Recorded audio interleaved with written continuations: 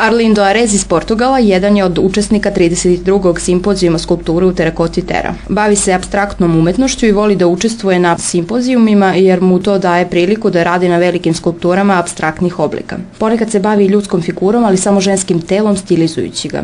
Glinu je koristio u svom ranijem radu, ali za kikinsku glinu kaže da je posebna. Trenutno radi na delu kojim će povezati muziku i brod.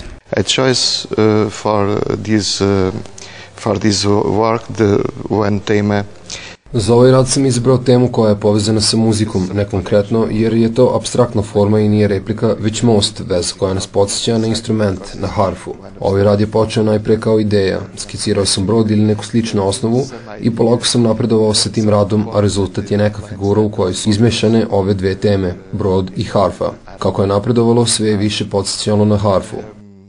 Kada je reč o materijalima, Arlindo voli izazove i ne voli stalno da koristi isti materijal. I, I can tell you that I have one favorite material. Ne mogu da kažem da imam jedan omiljeni materijal. Ovo što sam ovde napravio nije isti rad kao prethodni, ista je ideja, ali nije ista stvar ako sam za to koristio, na primjer, metal. U Meksiku sam radio sa metalom i ne mogu da uradim istu formu u glini, ali za ovu figuru glina mi je omiljeni materijal, dok sa drugi može biti kamen ili vosak. Na Tajlandu sam, na primjer, dva puta radio sa pčeljnim voskom. Kad pričam o tome, svi kažu da stvarno, ali vosak, vosak je veoma plastičan materijal i možete videti da su čak Egipćani radili male skulpture u vosku i da on može da preživi dugo vremena. Prostor u kome radi za njega je veoma poseban. In this uh, place that it's very, uh, how can I explain it? It's uh, like spiritual. It's, it's very... Ovo mesto je veoma, kako bih to objasnio, spiritualno i zanimljivo. Jedno od najboljih u kojima sam radio u životu. Ima bogatu istoriju, a sada ga koriste kao mesto za modernu umetnost. Velika je čast i čestitam organizatorima koji su očuvali jednu ovakvu zgradu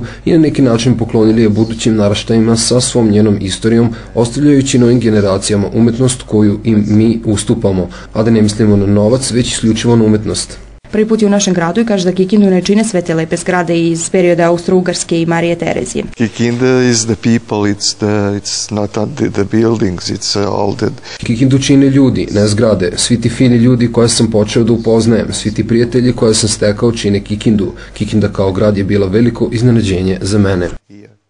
Arlindo Arez rođen je u Portimao 1957. godine. Nakon završetka studija počeo da se bavi slikarstvom, ali se u tome nije pronalazio te se okrenuo skulpturi koja mu više odgovara zbog svoje trodimenzionalnosti. Njegova dela nalaze se širom sveta. Do sada je izlagao u Španiji, Francuskoj, Italiji, Austriji, Nemačkoj, na Tajlandu, u Kini, Siriji, Tunisu, Egiptu, a sada i u Srbiji.